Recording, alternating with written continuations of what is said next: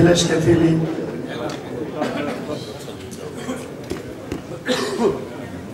πραγματοποιείται το Ανώτατο Συμβούλιο του Κόμματος με ολόκληρη την κοινωνία συγκλονισμένη από τον πρόωρο χαμό του συναγωνιστή, του φίλου, του πολιτικού με το ήθος που πλούτησε τον πολιτικό πολιτισμό μας του Τάσου Μητσόπουλου. Παρακαλώ για μονόλεπτη σιγή.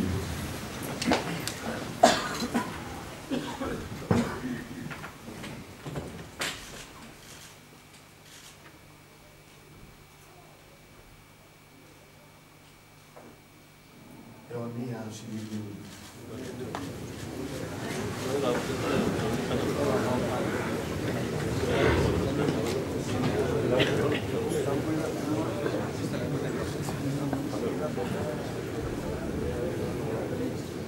Κύριε φίλε Πρόεδρε, αγαπητοί φίλοι Υπουργοί, συναγωνιστές και συναγωνίστριες, κηρύσσοντας την έναρξη των εργασιών του Ανωτάτου Συμβουλίου, καλωσορίζω θερμά τα μέλη και τα στελέχη του Ανωτάτου Συμβουλίου και είναι και με μεγάλη τιμή και χαρά που καλωσορίζομαι και υποδεχόμεθα με ανοιχτές τις αγκάλες σήμερα τους εκλεκτούς φίλους και φίλες που αποφάσισαν να συμπαραταχθούν και να συμπορευθούν μαζί μας στο Ευρωψηφοδέλτιο του Δημοκρατικού Συναγερμού. Αποτελεί ακόμη μια τρανή απόδειξη ότι αυτή η παράταξη κάνει πράξη του ενώνουμε δυνάμεις. Ότι αυτή η παράταξη αντλεί δύναμη αλλά και αντικατοπτρίζει ολόκληρη την κοινωνία. Ότι η αυτή η παράταξη δεν έχει μόνο ένα ανοιχτό παράθυρο, αλλά και ορθά ανοίξτε τις πόρτες της προς ολόκληρη την κοινωνία. Και υπάρχει θέση, ρόλος και αποστολής για όσους θέλουν και για όποιος θέλει να αγωνιστεί από αυτήν τη θέση μάχης για το καλό της πατρίδος και μόνο της πατρίδος. Καλό στο βήμα τον πρόεδρό μας, τον πρόεδρο της μεγάλης μας παράταξης, τον αγαπητόν συναγωνιστή φίλο Αβέρο Νεοφίλου.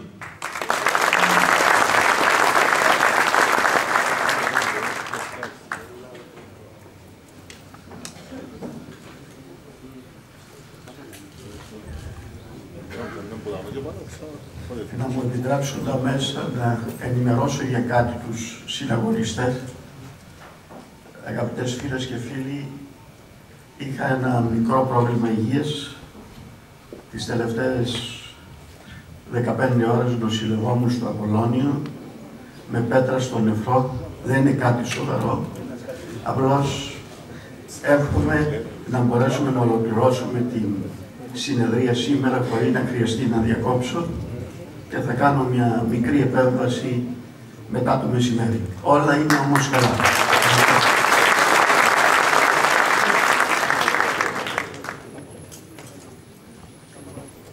Φίλες και φίλοι, ένα χρόνο μετά τις προεδρικές εκλογές, αλλά και ένα χρόνο μετά τα δραματικά γεγονότα του Eurogroup, που συντάραξαν την Κυπριακή κοινωνία, καλούμαστε να δώσουμε μια νέα κρίσιμη εκλογική μάχη. Μια μάχη στην οποία μπαίνουμε συγκλονισμένοι από την απώλεια ενός δικού μας υπέροχου ανθρώπου, ενός πολιτικού που είχε πολλά ακόμα να δώσει στην πατρίδα και πολύ ακόμα περισσότερο να δώσει στην ποιότητα και να προσδώσει περισσότερη αξία στην παράταξή μας. Είμαι βέβαιος ότι εκφράζω τα συναισθήματα όλων μας, αδυνατώντας ακόμα να πιστέψω πως ο Τάσος μας έφυγε τόσο χρόνο, ότι δεν είναι εδώ σήμερα να μας συντροφέρει ήρεμα και ταπεινά να συμβάλλει με το δικό του μοναδικό τρόπο στην ανάγκη να διαφυλάξουμε και να ενισχύσουμε την ευρωπαϊκή διάσταση της χώρας μας.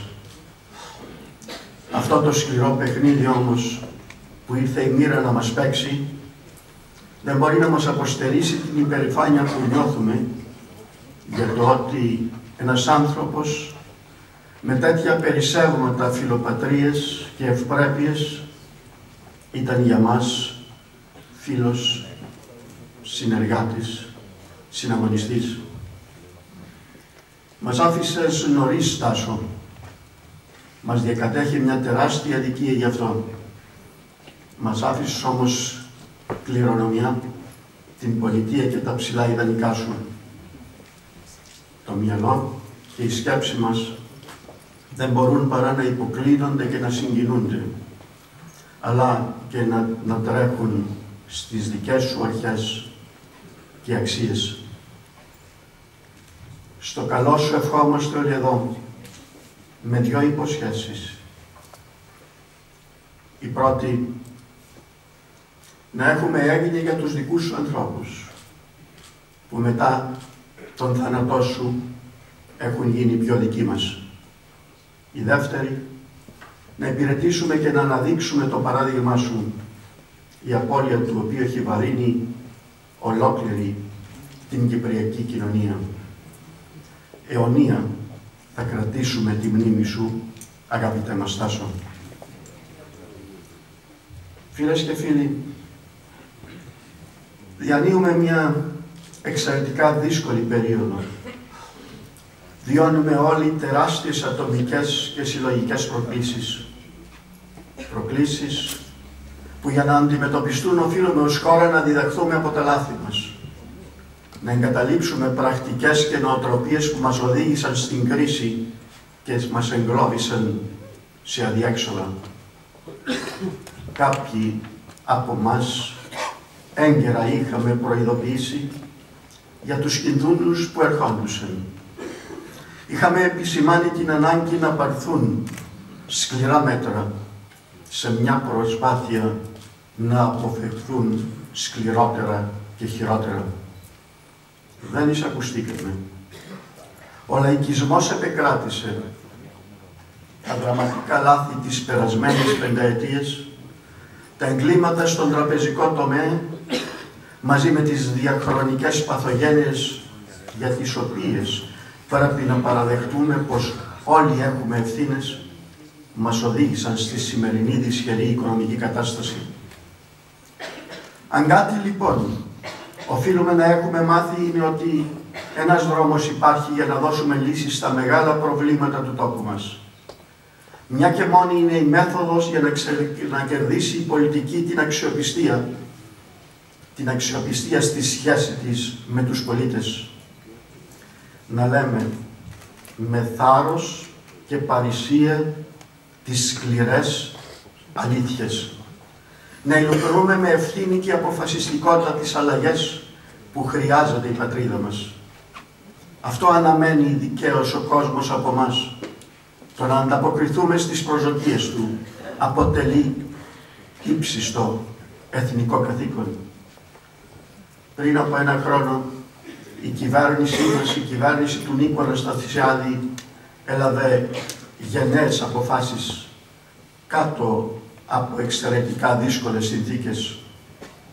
Αποφάσεις επώδυνες που συνεπάγονται οδυνηρές θυσίες για όλους. Στο σημείο που είχαμε φτάσει ήταν ο μόνος δρόμος να κρατηθούμε στην Ευρωπαϊκή Ένωση και να αποφύγουμε την χρεοκοπία της χώρας μας. Η κυβέρνηση όφιλε να αναλάβει το οποιοδήποτε πολιτικό κόστος. Αυτή ήταν η ευθύνη της Γι' αυτό έπραξε μη λογαριάζοντας πολιτικό κόστος. Υπάρχουν όμως δυνάμεις ακόμα και σήμερα φίλες και φίλοι που αντιτάσσονται στην Ευρώπη, αντιτάσσονται στις μεταρρυθμίσεις, παραμένουν σε ένα συντηρητισμό, ισχυρίζονται ότι δήθεν υπάρχει ένας άλλος δρόμος. Το ερώτημα όμως που εμείς θέτουμε είναι εξαιρετικά ευθύ. Θέλουν να φύγουμε από την Ευρώπη και το ευρώ. Εάν αυτό προτείνουν, εμείς τους προκαλούμε. Ας μην κρύβονται για μας. Για μας το δημοκρατικός συναγερμό, ο δρόμος για την Κύπρο μας είναι ο ευρωπαϊκός. Εγνώση μας ότι δεν είναι αγγελικά πλασμένος. Η χρεοκοπία όμως και η έξοδος από το ευρώ, η απώλεια της ασφάλειας που μας προσφέρει η Ευρωπαϊκή Ένωση δεν θα μπορούσε ποτέ μα ποτέ να είναι για μας η επιλογή. Γιατί όσα προβλήματα και αν έχει σήμερα η Ένωση, θα πρέπει να αντιληφθούμε στην Ευρώπη δεν είμαστε φιλοξενούμενοι για να πάρουμε το καπέλο μας και να φύγουμε. Είμαστε συνειδιοκτήτες και έχουμε μια δική μας θέση στο τραπέζι. Μια θέση που καταξιώθηκαμε να την έχουμε μετά από αγώνες και μια σοφή ηγεσία από τον πατριάρχη της παράταξής μας, τον Γλάβκο Κλειδί.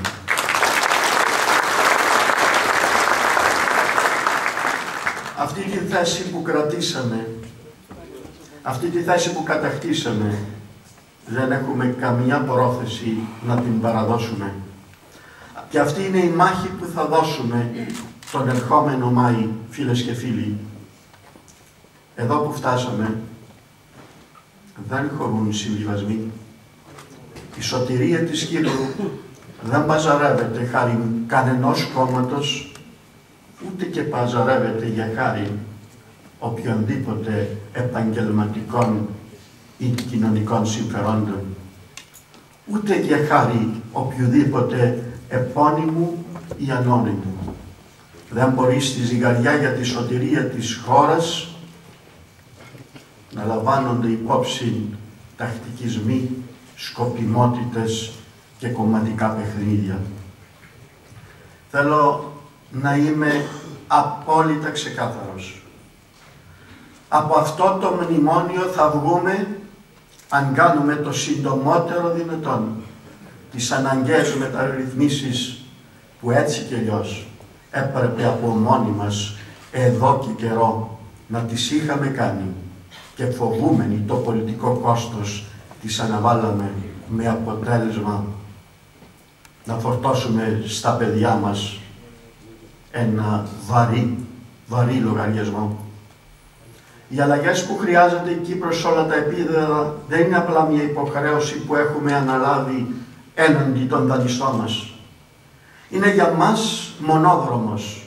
Είναι για μας οι αναγκαίες μεταρρυθμίσεις που είναι προϋπόθεση εθνικής επιβίωσης. Φίλες και φίλοι, ένα είναι το δεδομένο με αναλύσεις του χθες δεν λύνονται τα προβλήματα του αύριο. Το μεγάλο ραντεβού του αύριο για την Κύπρο μας είναι πάλι πολύ συγκεκριμένο. Είναι η πρόκληση να δημιουργήσουμε τη νέα κυπριακή οικονομία που στηριγμένη σε γερά θεμέλια θα επιτρέπει την σταθερή και η φόρο ευημερία του λαού μας. Να κερδίσουμε την θέση μας εκεί που μας αξίζει στην Ευρώπη. Να δημιουργήσουμε τις συνθήκες που συνδράμουν στην βιώσιμη λύση του εθνικού μας προβλήματος και την επανένωση της μοιρασμένης μας πατρίδας.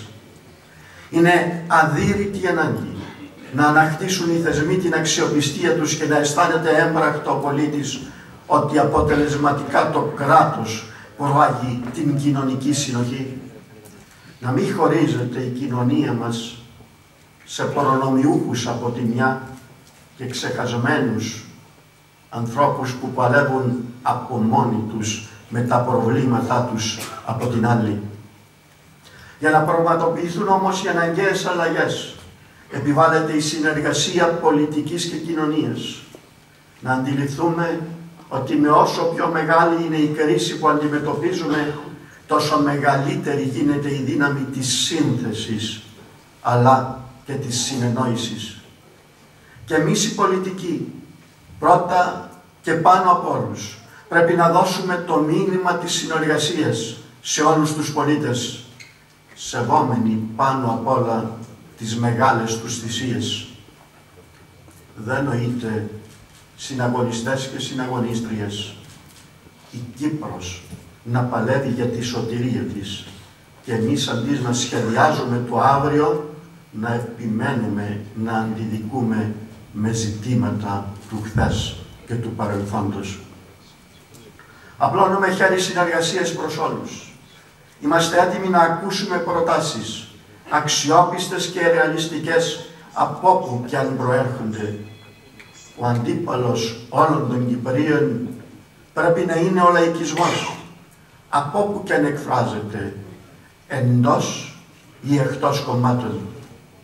Για να διασφαλίσουμε την πορεία της Κύπρου προς το μέλλον, οφείλουμε να βάλουμε την Κύπρο πάνω από κομματικές ιδεολογίες. Χρειαζόμαστε ενότητα, όχι διχασμό, μετριοπάθεια, όχι φανατισμό. Απαιτείται πραγματισμός, όχι δογματισμός. Χειροπιαστά αποτελέσματα ζητά ο κόσμος, όχι κούφια λόγια και κούφιες υποσχέσεις. Υπάρχει καλύτερη Κύπρος. Πολίτες και πολιτικές δυνάμεις έχουμε χρέος να συναντηθούμε σε αυτή την δημιουργική προσπάθεια, σε αυτό το ραντεβού με την Κύπρο του αύριο. Γι' αυτό απευθύνουμε σε όλους ανεξαίρετα προσκλητήριο ευθύνης και συνεργασίες, δηλώνοντας ταυτόχρονα μια ξεκάθαρη τοποθέτηση στο ραντεβού με το αμαρτωλό παρελθόν ο δημοκρατικός συνεγερμός δηλώνει εξυπαρχής απόν. Διότι η αλήθεια είναι φίλες και φίλοι ότι η κοινωνία ξεπέρασε εμάς τα κόμματα σε οριμότητα και υπευθυνότητα. Κάποια κόμματα ακόμα και σήμερα συνεχίζουν να λαϊκίζουν. Σε κάποια άλλα επικρατεί το σύνδρομο της αυτοδικαίωσης πάνω στα ερήπια των χρεοκοπημένων πολιτικών τους. Και κάποιες άλλες αντιδράσεις δεν ήταν τόσο υπεύθυνες όσο θα έπρεπε υπό τις περιστάσεις. Υπήρξε απολυτότητα. Δημιουργήθηκε η αίσθηση ότι επικρατούν προσωπικές και κομματικές στρατηγικές. Σημειώθηκαν κινήσεις βιαστικές και ακούστηκαν υπερβολές. Δεν υπηρετείται φίλες και φίλοι η κοινή προσπάθεια με αυτούς τους τρόπους. Εμείς δεν θα ακούσουμε και δεν θα πορευτούμε σε αυτές τις λογικές. Έχουμε υπερβεί τέτοιες νοοτροπίες. Εμείς δεν γκρεμίζουμε γέφυρες. Θα συνεχίσουμε να χτίζουμε γέφυρες. Αυτό το οφείλουμε στα παιδιά μας. Φίλες και φίλοι, αυτό που στο τέλος μετράει είναι η εφαρμογή. Το τι κάνουμε στην πράξη. Είναι στην πράξη που καλούμαστε όλοι να υλοποιήσουμε τις αναγκαίες αλλαγές. Στις σημερινές συγκυρίες, μόνο ότι έχει πρακτικό αντίκρισμα έχει αξία για τους πολίτες. Όμως, όσο και αν η χώρα αντιποκρίνεται πλέον γρήγορα και υπεύθυνα στην κρίση, όσο και αν οι φωνές στο εξωτερικό ήδη ξεκίνησαν να μας χρησιμοποιούν ως καλό παράδειγμα, δεν παραβλέπουμε μια ομή πραγματικότητα, ότι τα προβλήματα του λαού μας είναι εκεί. Η ανεργία είναι στα ύψη, οι μικρομεσαίοι υποφέρουν και τα προβλήματα αναμένουν λύσεις. Οι δείχτες δεν λύνουν από μόνοι τους τα προβλήματα. Είναι όμως εξίσου πραγματικότητα ότι εδώ που έφτασαν τα πράγματα πρέπει να είμαστε ρεαλιστές. Δεν υπάρχουν μαγικές λύσεις. Αν θέλουμε να είμαστε ρεαλιστές, νέες δουλειές θα ανοίξουν εφόσον καταφέρουν να προσελκύσουμε επενδύσεις και νέα κεφάλαια. Και είναι υπ' αυτό το πρίσμα που αντιμετωπίζει η παράταξή μας και το θέμα των αποκρατικοποιήσεων. Ως ένα εργαλείο προσέλκυσης επενδύσεων, δημιουργίας νέων θέσεων εργασίας και όθησης της ανάπτυξης. Δυστυχώς φίλες και φίλοι, μεγάλες αυταπάτες επικράτησαν στον τόπο μας. Ενοχοποιήσαμε το κέρδος και την επιχειρηματικότητα. Την ώρα που λατρεύτηκε ο κρατισμός και τα υπερπρονόμια. Χάθηκε η αίσθηση της αξίας και της ευθύνης της διαχείρισης των χρημάτων των φορολογουμένων. Δοξάστηκε και εμπεδόθηκαν στρεβλώσεις που συντηρούν ακόμα και σήμερα μικρά και μεγάλα βασίλεια στις πλάτες των μη προνομιούχων πολιτών. Αυτό που εντελώς φίλες και φίλοι χρεοκόπησε είναι το φτωχό και κύβδηλο όραμα του Κυπρίου. Το να θέλουμε τα με πολλές θυσίες σπουδασμένα και σπουδαία μυαλά μας, τα καταρτισμένα παιδιά μας, να βολεύονται αντίς να κερδίζουν το μέλλον. Και εκεί που μέχρι σήμερα τους κόβαμε τα φτερά της δημιουργίας, σήμερα στην πλειοψηφία των νέων ανθρώπων δεν τους παρέχουμε ούτε μια θέση των 500 ευρώ. Καταντήσαμε τα παιδιά μας τη χαμένη γενιά των Κυπρίων. Είναι αυτές οι νοοτροπίες που δεν έχουν θέση στην καλύτερη Κύπρο που προσπαθούμε να πετύχουμε. Είμαστε ένας περήφανος και αξιοπρεπής λαός. Αν η χώρα δεν ανακτήσει το κύρος και την αξιοπρέπειά τους, πρέπει να το κατανοήσουμε. Δεν θα έρθουν ξένες επενδύσεις. Δεν θα δημιουργηθούν νέες επιχειρήσεις. Δεν θα αναπνεύσουν ξανά οι υφιστάμενες. Και χωρίς επενδύσεις, χωρίς αύξηση της επιχειρηματικότητας, δεν μπορούν να υπάρχουν θέσεις εργασίας. Δεν μπορούν να πληρώνονται φόροι για να έχει το κράτος έσοδα. Δεν μπορεί να υπάρξει ανάπτυξη. Ούτε και το κράτος μπορεί να διασφαλίσει την κοινωνική συνοχή.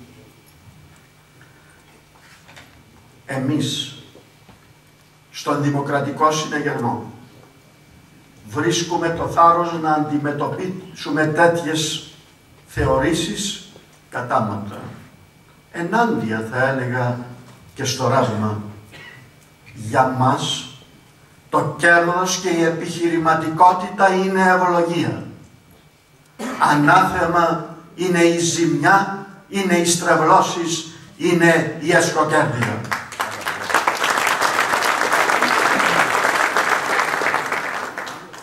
Στηρίζουμε την ιδιωτική πρωτοβουλία. Δεν θέλουμε ένα κράτος επιχειρηματία. Θέλουμε όμως ένα κράτος αυστηρό, επόπτη, που να ελέγχει τη σωστή λειτουργία του ανταγωνισμού. Είμαστε ενάντια στα μονοπόλια. Σε όλα ανεξαίρετα τα μονοπόλια. Πολύ περισσότερο στα ιδιωτικά μονοπόλια και ολιγοπόλια. Έχουμε υποχρέωση να παράσχουμε κάθε δυνατό εφόδιο στη μεσαία τάξη και στους νέους μας για να μπορέσουν να δραστηριοποιηθούν και να ανοίξουν δουλειές. Είναι η ρακοκοκαλιά της οικονομίας μας στηρίζοντας τη μεσαία τάξη και τους νέους μας, στηρίζουμε το μέλλον του τόπου μας. Την ίδια ώρα όμως έχουμε όλοι οι θεσμοί απέναντι σε αυτό το λαό ένα βαρύτατο κρέος. Είναι για όλους δεδομένες οι ευθύνες για το πώς φτάσαμε εδώ, για την κατάσταση που οδηγήθηκε η οικονομία και το τι βιώνουν οι πολίτες είναι γνωστό ποιοι ευθύνονται για τη δημοσιονομική πολιτική αλλά και τα εγκλήματα στον τραπεζικό τομέα με βαρύτατες επιπτώσεις στο σύνολο της κοινωνίας. Η κοινωνία δικαίως απαιτεί να αποδοθούν το συντομότερο δυνατόν ευθύνες. Σήμερα που η δικαιοσύνη ερευνά σωρία τέτοιων ζητημάτων πρέπει να φεθεί ελεύθερη από οποιουσδήποτε κομματικούς παρεμβατισμούς. Αν δεν δει όμως, φίλες και φίλοι, το ταχύτερο δυνατό ένα τέλος στην ατιμορρησία όσων ευθύνονται για την κρίση, η απαξίωση των θεσμών θα μεγαλώσει ακόμα περισσότερο και η ατιμορρησία θα είναι μεγαλύτερο έγκλημα από τα εγκλήματα που έγιναν στην οικονομία. Και θέλω, φίλες και φίλοι, από το Ανώτατο Συμβούλιο του Κόμματος να στείλω ένα σαφή μήνυμα, σαφέστατο μήνυμα, στο επίπεδο της δικαιοσύνης και της απόδοσης ευθυνών. Ως συνταγμένη πολιτεία έχουμε δραματικά καθυστερήσει. Συναγωνιστές και συναγωνίστριες, μια καινούργια δύναμη ανάπτυξης και γεωπολιτικής αξίας αναδύεται μέσα από την προοπτική αξιοποίησης των υδρογονανθράκων. Η ενέργεια ανοίγει ένα κεφάλαιο για το οποίο επιβάλλεται να είμαστε απόλυτα προετοιμασμένοι. Με πραγματισμό, αλλά και με συνάμα με όραμα. Έτσι είναι που θα καταστεί η χώρα μας ενεργειακό κέντρο. Αλλήμον όμως, αν θεωρούμε την ενέργεια ως το όχημα για να δραπετεύσουμε από τις αναγκαίες μεταρρυθμίσεις που το ξέρουμε καλά πως πρέπει να γίνουν. Θα πρέπει να συνεχίσουμε το δρόμο της δημοσιονομικής εξοικίασης χωρίς να λογαριάζουμε στα μελλοντικά έσοδα του φυσικού αερίου. Εγκληματίσαμε τις περασμένες δεκαετίες με αυτές τις νοοτροπίες και δεν πρέπει να συνεχίσουμε με αυτές. Φίλες και φίλοι, η γεωπολιτική κοσμογονία που λαμβάνει η χώρα γύρω μας ενισχύει την ελπίδα ενός σωστού συμβιβασμού που να επανενώνει την πατρίδα μας. Δεν έχει θέση το άλλο το κυπριακό πρόβλημα στον σύγχρονο κόσμο.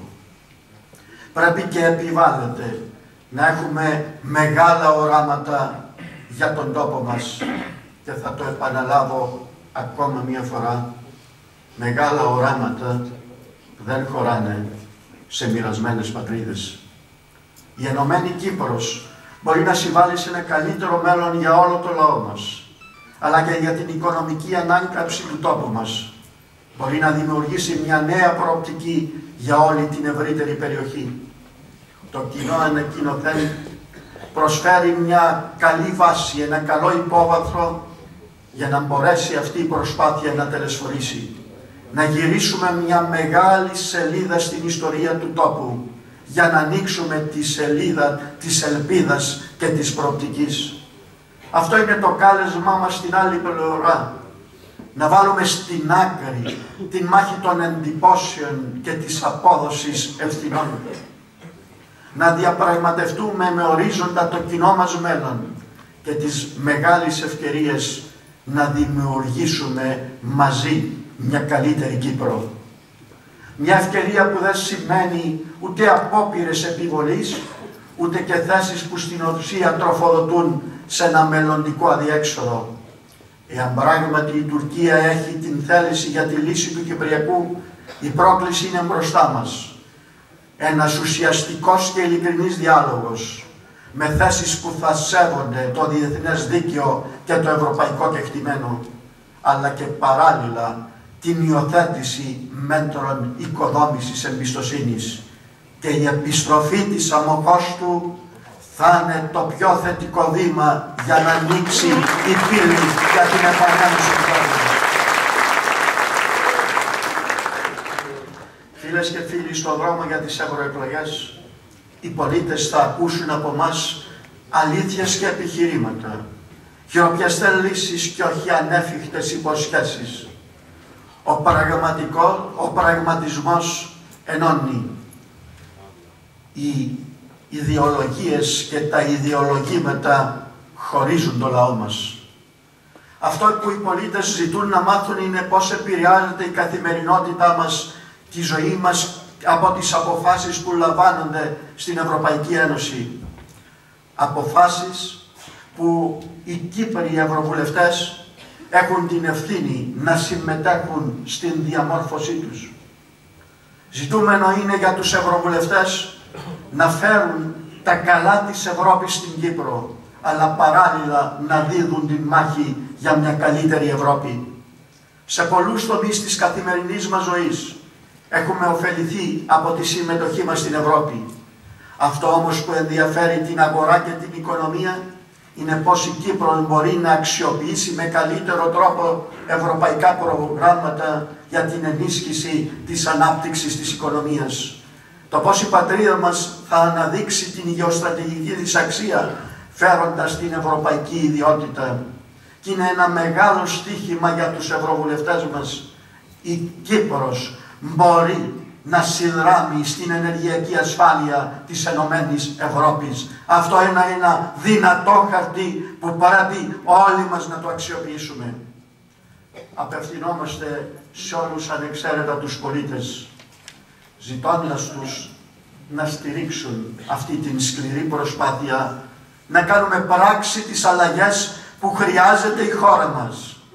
Όχι τις αλλαγές που επιβάλλει η Τρόικα, Αυτά τα κάνουμε για το καλό του τόπου μας και όχι γιατί απλά μας τα επιβάλλουν. Να συμμεριστούν μαζί μας την ευθύνη της πραγματοποίησης του οράματος για μια καλύτερη Κύπρο στην καρδιά και μέσα στην ασφάλεια που παρέχει η Ευρωπαϊκή Ένωση.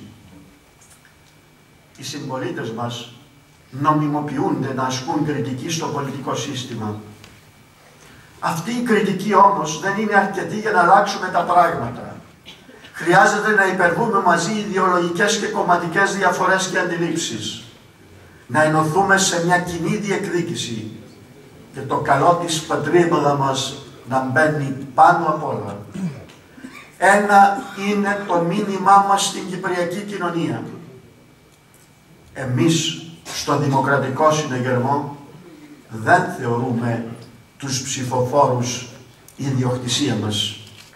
Ούτε και ζητούμε από αυτούς να υποκύψουν στις κομματικές μας επιταγές. Τους ζητούμε να είναι πάρα πολύ κριτικοί στις δικές μας συμπεριφορές και στις δικές μας πολιτικές αποφάσεις. Στο δρόμο για τις ευρωεκλογές, για μια κοινωνική παστρατιά μπορεί να δημιουργηθεί για την καλύτερο να δημιουργήσουμε την καλύτερη Κύπρο του αύριο. Πανστρατιά που αντικατοπτρίζεται με τον καλύτερο δυνατό τρόπο σε ένα πάρα πάρα πολύ ισχυρό ψηφοδέλτιο του Δημοκρατικού Συναγερμού με όλα τα χαρακτηριστικά που σήμερα ζητά από εμάς η κοινωνία την σύνθεση και την εμπειρία την ανανέωση το κύρος και τη γνώση τη σωστή ισορροπία μεταξύ πολιτικής ικανότητας και τεχνοκρατικής κατάρτισης. Είμαι συναγωνιστές και συναγωνίστριες ιδιαίτερα υπερήφανος για τους ανθρώπους που καλούμε να παρουσιάσω σήμερα για όλους μαζί αλλά και για τον καθένα ξεχωριστά. Ξεκινώντας με αλφαβητική σειρά από τον Αριστίνδη υποψήφιό μας Σταύρο Ζένιο.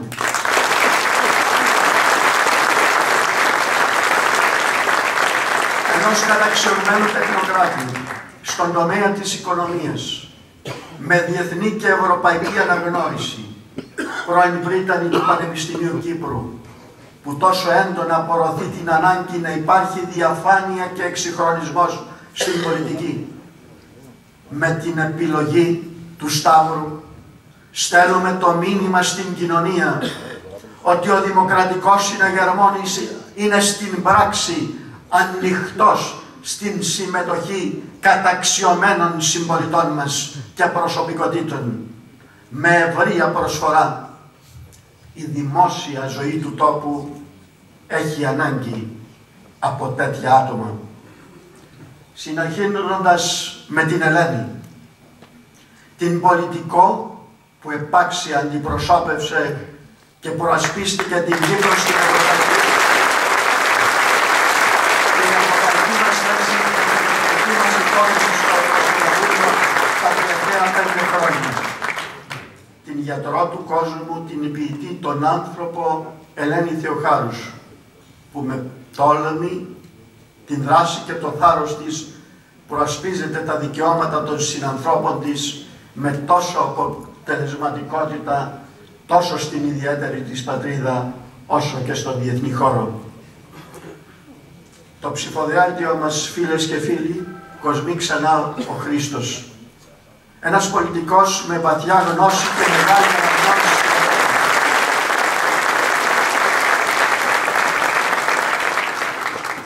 που έθεσε την αξία της εκπροσώπησης της Κύπρου στην Ευρωπαϊκή Ένωση πάνω από την ήδη μεγάλη κρισιμότητα του κυβερνητικού του αξιώματος που σήμερα κατέχει.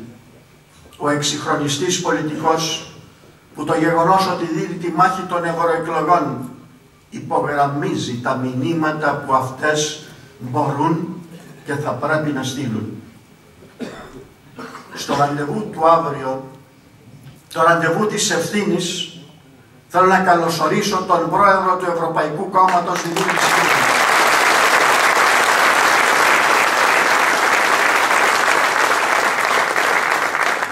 Δεν είναι ξένα τα κατατόπια της παράταξής μας στον Δημήτρη.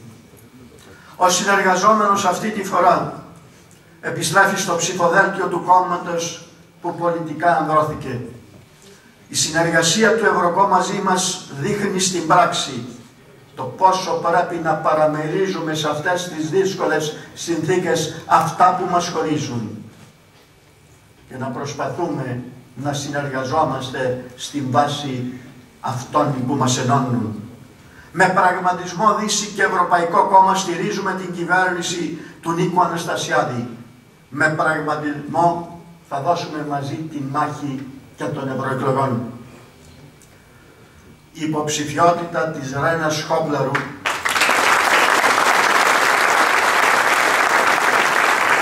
και η συνεργασία με την πρωτοβουλία Μένουμε Ευρώπη είναι η απόδειξη που, του πόσο πιστεύουμε στην κοινωνικοποίηση της πολιτικής και όχι της κομματικοποίησης της κοινωνίας.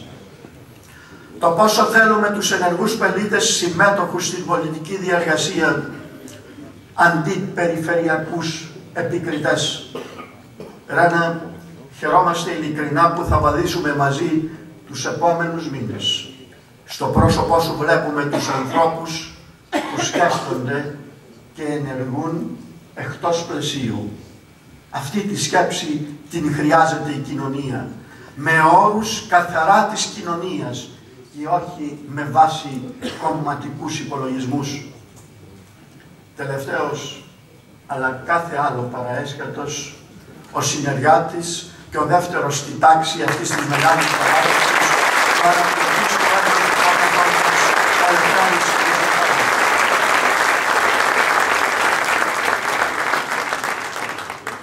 ο αικίνητος βουλευτής της αμοχώς του, που δεν σταμάτησε στιγμή όλα αυτά τα χρόνια να βρίσκεται δίπλα στους συμπολίτες απ' άκρη άκρη της Κύπρου, να προστατεύει όσους έχουν ανάγκη, να συνδέει αυτό το κόμμα με την μάζα των πολιτών, να είναι ο εκφραστής του μέσου Κύπριου πολίτη.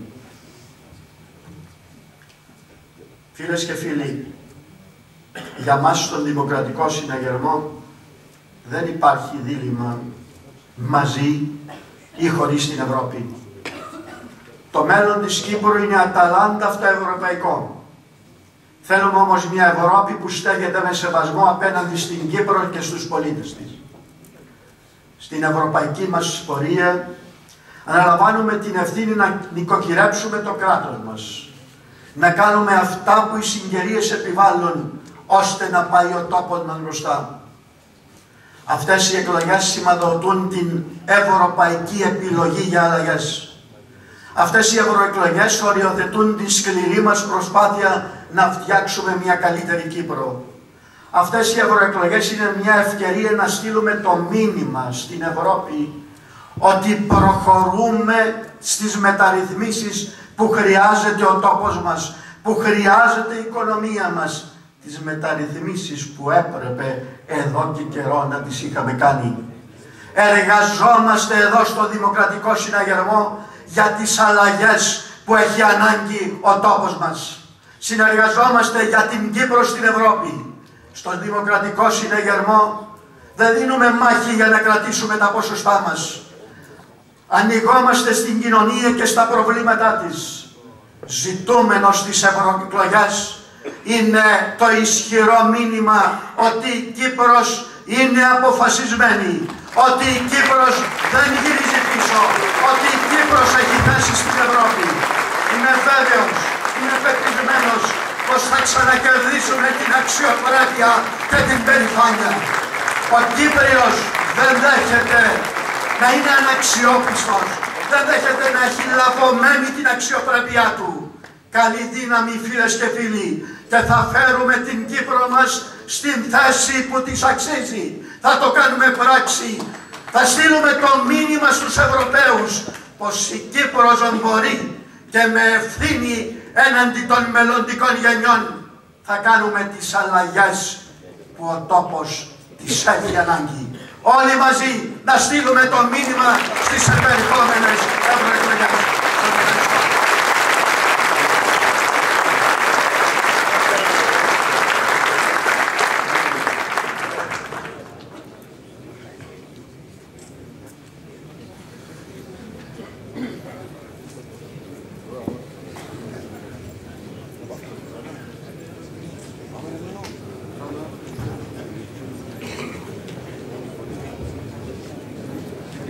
Πρωτού προχωρήσω.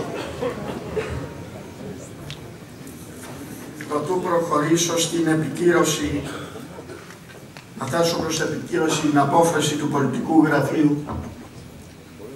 Θα μου επιτρέψετε αφού επαναλάβω τις ευχαριστίες σε όλους και όλες διότι πράττεται για τον τόπο μας πάνω απ' όλα και την παράταξή μας σε όλα τα ιστορικά στελέχη ανθρώπους που ίδρυσαν αυτή τη μεγάλη ιστορική παράταξη, τους νέους μας, τους συναγωνιστές μου και τους συναδέλφους, στα μέλη της κυβέρνησης, θα μου επιτρέψετε να κάνω κάποιες ιδιαίτερες αναφορές. Την παρουσία του αγαπητού μας Αλέξη Γαλανού,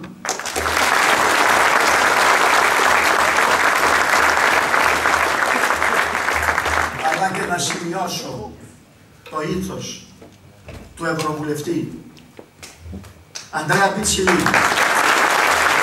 Παρότι μέσα από τις δημοκρατικές διαδικασίες δεν έχει μια θέση στο ψηφοδέλτιο, είναι παρόν σε αυτή την προσπάθεια. Έχει θέση στον αγώνα που όλοι κάνουμε να σώσουμε τον κόσμο μας. Θα ήταν παράληψη μου να μην εξάρω και το ήθος του συναγωνιστή Σωτήρη Σαμψόν, που παρόλο που μέσα από την δημοκρατία δεν μπορούσαμε όλοι να χωράσουμε σε αυτό το ψηφοδέλτιο, στέλνει ένα μήνυμα αυτή η παράταξη. Είμαστε όριμοι πολιτικά και την ώρα που ο τόπος δίνει τον αγώνα για εθνική και οικονομική επιβίωση δεν έχουμε την πολυτέλεια να χωριζόμαστε, αλλά ο ένας μαζί με τον άλλο να ενώνουμε δυνάμεις για να σώσουμε τον τόπο μας.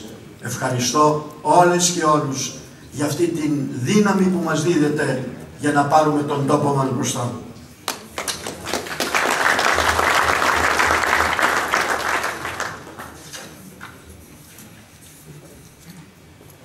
Το πολιτικό γραφείο του Δημοκρατικού Συνογερμού αφού έλαβε υπόψη το άρθρο 51.1 του καταστατικού που ορίζει ως βασική αρχή του κόμματος την διεκδίκηση κάθε εκλογή στην πολιτική και δημόσια ζωή του τόπου με δικούς του υποψηφίους ή με υποστήριξη υποψηφίων οι οποίοι συμφωνούν με το πρόγραμμα, τους σκοπούς και τις θέσεις του. Το άρθρο 51.2 που ορίζει ότι την ευθύνη διαπραγματεύσεων για εκλογικές συνεργασίες με κόμματα ή πολιτικές ομάδες ή άτομα έχει το εκτελεστικό γραφείο του κόμματος το αποτέλεσμα των οποίων υπόκειται στην έγκριση του πολιτικού γραφείου, το άρθρο 51, σύμφωνα με το οποίο οι υποψήφοι του κόμματος για τις ευρωεκλογές επιλέγονται από το πολιτικό γραφείο και η απόφαση του επικυρώνεται από το ανώτατο συμβούλιο. Το άρθρο 51, στο οποίο κατοχυρώνεται η δυνατότητα στον πρόεδρο του κόμματος και τις επαρχιακές γραμματείες να εισηγούνται προς το πολιτικό γραφείο τη συμπερίληψη κατ' επιλογή υποψηφίων στα ψηφοδέλτια δημόσιων εκλογών που δεν προβλέπονται από το καταστατικό, ο αριθμός των οποίων να μην υπερβάλλει το 25% των θέσεων, απεφάσισε ομόφωνα όπως εισηγηθεί για επικύρωση από το Ανώτατο Συμβούλιο την ακόλουθη σύνθεση του ψηφοδελτίου του κόμματος στις ευρωεκλογές του Μαΐου. Με αλφαβητική σειρά επωνύμου, Ζένιος Σταύρος, οικονομολόγος ακαδημαϊκός προϊμπρίτανης Πανεπιστημίου Κύπρου, Θεοχάρους Ελένη, διδάκτορ ιατρικής παιδοχειρούργος, νυν ευρωβουλευτής, Στυλιανίδης Χρήστος, χειρούργος οδοντίατρος, νυν κυβερνητικός εκπρόσωπος, Δημήτρης Σιλούρης, πολιτικός μηχανικός, βουλευτής, πρόεδρος Ευρωπαϊκού Κόμματος, Χόπλερ Ουρένα, εκπαιδευτικός, ακτιβίστρια και αρθογράφος, ιδρυτικό μέλος της πρωτοβουλίας Μένουμε Ευρώπη και Λευτέρης Χριστοφόρου, οικονομολόγος, βουλευτής, αναπληρωτής πρόεδρος του Δημοκρατικού Συναγερμού. Επικυρώνεται.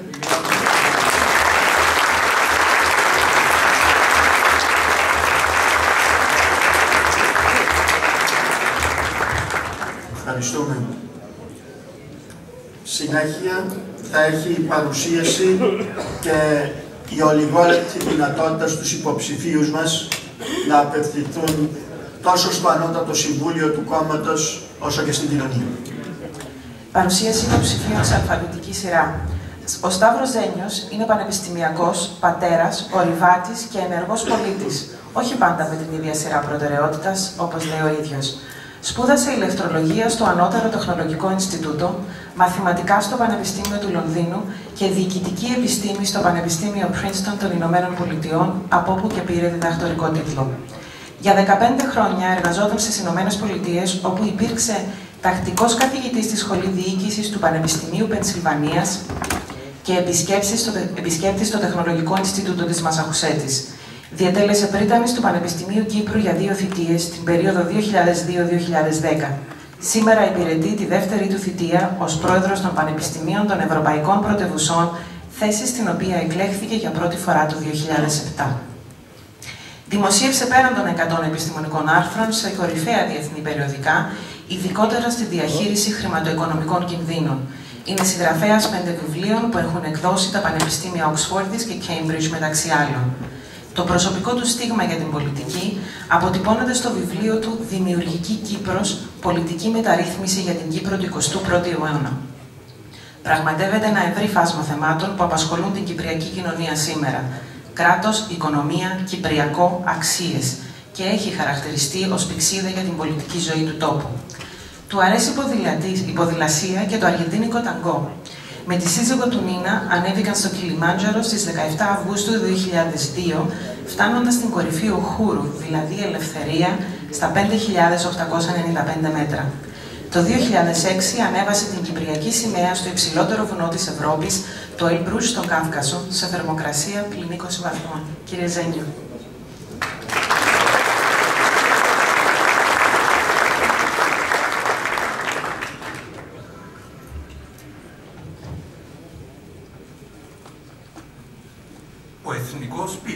Ιταλίας Δάντης προειδοποιούσε τους συμπατριώτες του ότι στο πιο καυτό μέρος της κόλασης βρίσκονται εκείνοι που μπροστά στα μεγάλα ηθικά διλήμματα διατήρησαν την ουδετερότητά τους. Γι' αυτό, αγαπητές φίλες και φίλοι, αγαπητέ φίλε Πρόεδρε του Δημοκρατικού Συναγερμού, γι' αυτό βρίσκομαι σήμερα εδώ μαζί σας. Γι' αυτό στέκομαι μπροστά στο ανώτατο όργανο της μεγαλύτερης πολιτικής δύναμης της χώρας, που επιμερίζεται και τις τεράστιες ευθύνες της διακυβέρνησης. Προτιμότερο το καμίνι της ενεργού πολιτικής από την κόλαση του Λάντι. Στις κρίσιμες ώρες που περνάει η χώρα μας, κανένας δεν μπορεί να παραμένει θεατής. Ο καθένας από εμά είναι η Κύπρος και ο καθένας πρέπει να προσφέρει. Αυτό που έχω εγώ να προσφέρω είναι ένα ερώτημα. Μπορεί η Κύπρος να είναι χώρα άξιας θαυμασμού το χρειάζεται η Κύπρος. Τι θα έκανε την Κύπρο χώρα αξιοθαύμαστη; Χρειαζόμαστε ένα όραμα τόσο μεγαλόπνο που να εμπνέει όχι μόνο τις τωρινές γενιές, αλλά και τις μελούμενες. Ο Ευρωβουλευτής είναι ένας Κύπριος με εντολή να αντιπροσωπεύει την Κύπρο στην Ευρώπη. Υπάρχει λοιπόν Κύπριος ή Κύπρια που έζησε την πρόσφατη ιστορία μας, που να μην θέλει την Κύπρο να είναι χώρα άξια θαυμασμού. Και τώρα ρωτώ, πώς μπορεί να γίνει αυτό; Το πολιτικό σύστημα της χώρας μας χρειάζεται ανανέωση, εξυγχρονισμό και διαφάνεια. Χρειαζόμαστε ένα διαφορετικό ύφος και ήθος πολιτικού λόγου, που να λύνει τα προβλήματα του πολίτη αντί να περιορίζεται στη διεκδίκηση της εξουσίας. Που να παράγει πολυεπίπεδο πολιτικό λόγο αντί να εξαντλείται στους κομματικούς τακτικισμούς. Οι τακτικισμοί, η διαφθορά, η αδιαφάνεια, η ατιμορρησία οδήγησαν τη χώρα στην καταστροφή, τους νέους και νέες μας στην ανεργία και πολλούς συμπολίτες μας στην απελπισία. Για να βγούμε από τα διέξοδα, χρειαζόμαστε εμπειρογνωμοσύνη και υπευθυνότητα στους σχεδιασμούς μας, επαγγελματισμό και μεθοδικότητα στην υλοποίησή τους. Και στην Ευρώπη χρειαζόμαστε αξιόπιστες φωνές που να πείθουν για τις εθνικές μας υποθέσεις. Η Κύπρος είναι γεωγραφικά μικρή, αλλά στον κόσμο της δημιουργίας δεν υπάρχουν μικρές και μεγάλες χώρες, ούτε πλούσιοι και φτωχοί, ούτε δυνατές και αδύνατες φωνές. Στον κόσμο της δημιουργίας υπάρχουν άνθρωποι που πιστεύουν στη δύναμη των ιδεών τους και λαοί που χτίζουν γέφυρες και αγκαλιάζουν με διαφάνεια και δικαιοσύνη ιδέες νέες και υποφελείς για τον καθένα αλλά και για το σύνολο. Εμείς οι Κύπροι διαθέτουμε την ιδιαίτερη δημιουργικότητά μας, το παραδοσιακό φιλότιμο και το παρημιώδες πείσμα μας. Δικαιούμαστε λοιπόν να ονειρευόμαστε μια Κύπρο δημιουργική, μια Κύπρο άξια θαυμασμού. Πριν ένα χρόνο είχα στείλει στο φίλο πρόεδρο του κόμματος σας το βιβλίο μου Δημιουργική Κύπρος. Ήλπιζα ότι στις σελίδες του θα αναγνώριζε ένα αρχιτεκτονικό σχέδιο για τη χώρα μας. Ο Αβέροφ έκανε κάτι άλλο. Μου ζήτησε να βοηθήσω στο χτίσιμο. Η πρόσκληση να είμαι αριστείδη υποψήφιος του Δημοκρατικού Συναγερμού με τιμά παθήτατα. Ήταν όμως και μια πρόσκληση, πρόκληση. Να παραμείνω θεατή στο πολιτικό παιχνίδι, να κρίνω, να επικρίνω και να προτείνω από την ησυχία του πανεπιστημιακού μου γραφείου ή να κατέβω στο στίγο της ενεργού πολιτικής. Νομίζω ότι όλοι γνωρίζετε πολύ καλά την ικανότητα του Προέδρου σας να πείθει. Του έδωσα την απάντηση χθες και την επαναλαμβάνω σήμερα εδώ μπροστά σας. Αν με χρειάζεστε στις Βρυξέλλες να αγωνίζομαι για τη χώρα μας και για την αναδια... αναδιάρθρωση της καταστραμμένης οικονομίας και τα εθνικά δικιά μας που καταπατούνται εδώ και 40 χρόνια, εκεί θα πάω. Και αν κρίνετε ότι η θέση μου είναι στην πανεπιστημιακή έδρα, να διδάσκω τα παιδιά μας, εδώ θα μείνω. Καταλήγοντας, σα οφείλω και μια εξήγηση. Γιατί με το Δημοκρατικό Συναγερμό. Διότι αποτελείται τη μετριοπαθή παράταξη ελεύθερας σκεπτόμενων πολιτών. Αντιπροσωπεύεται μια ξεχρονιστική τάση που τόσο τη χρειαζόμαστε. Και σε αυτό το περιβάλλον, η δική μου κεντρώα φιλελεύθερη εξυγχρονιστική προσέγγιση και παίρνει και δίνει. Γι' αυτό είμαι μαζί σας, για να δώσουμε μαζί τη μάχη των ευρωεκλογών μαζί με τους πέντε συναδέλφους υποψήφιους, συνυποψήφιους, με εξαιρετικά προσόντα και μακρά πολιτική εμπειρία, τους οποίους εύχομαι και καλό αγώνα και καλή επιτυχία. Καλό αποτέλεσμα. Καλό αποτέλεσμα όχι για τον καθένα και την καθεμιά από εμάς, ούτε για το κόμμα, αλλά για την πατρίδα. Διότι πιστεύω σε αυτό που έλεγε ο ιδρυτής του κόμματος σας, Ελλάδος Κληρίδης. Η πατρίδα πάνω από το κόμμα. Και η πατρίδα έχει σήμερα ανάγκη στην Ευρώπη αξιόπιστες φωνές που να πείθουν για τις εθνικές μας υποθέσεις. Για να ανακτήσουμε ως χώρα την αξιοπιστία μας. Για να γίνει Κύπρος μια δημιουργική Κύπρος. Για να γίνει Κύπρος μια χώρα που να είναι άξια θαυμασμού. Ευχαριστώ πολύ.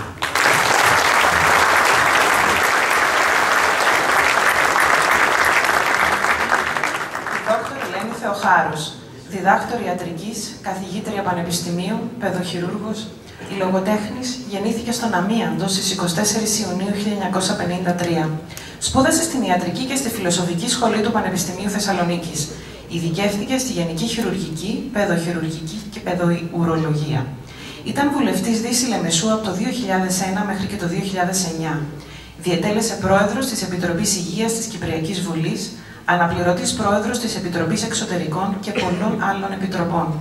Το 2009 εξελέγηκε Ευρωβουλευτής του Δημοκρατικού Συναγερμού Ευρωπαϊκού Λαϊκού Κόμματος. Εξέδωσε έξι ποιητικές συλλογές και τιμήθηκε δύο φορές με το πρώτο κρατικό βραβείο ποιήσεως. Είναι ακτιβίστρια, εθελοντής γιατρός και εργάζεται συνεχώς τα τελευταία 25 χρόνια σε ανθρωπιστικές αποστολές σε πεδία πολέμων, εμφυλίων συγκρούσεων, φυσικών καταστροφών και υποανάπτυξης. Παράλληλα, διδάσκει παιδοχειρουργική σε ιατρικές σχολές αναπτυσσομένων χωρών και διοργανώνει προγράμματα αντιμετώπισης της φτώχειας. Έλαβε τον τίτλο της επίτιμης διδάκτορας από το Εθνικό Πανεπιστήμιο της Ομόσπονδης Ρωσικής Δημοκρατίας Κόμη και από το Δημοκρίτιο Πανεπιστήμιο Θράκης. Για τη συνολική δράση της, τιμήθηκε με το Πανευρωπαϊκό Βραβείο Εθελοντισμού της Γαλλικής Κυβέρνησης, τον τίτλο του υπότιτλου Λεγεώνας των Ξένων της Γαλλικής Κυβέρνησης, τον τίτλο της Αρχόντισσας των Εκκλησιών και Οφικιαλίου του Αγίου Μάρκου του Πατριαρχείου Αλεξανδρίας, το Βαλκανικό Βραβείο Βαρδινογιάννη, το Χρυσό Μετάλλιο Τιμής του Ναγκόρνο Καραμπάχ, το Χρυσό Μετάλλιο του Εθνικού Πανεπιστημίου του Ερεβάν και με πολλά άλλα διεθνή και εντόπια βραβεία. Δόκτωρ Θεοχάρης.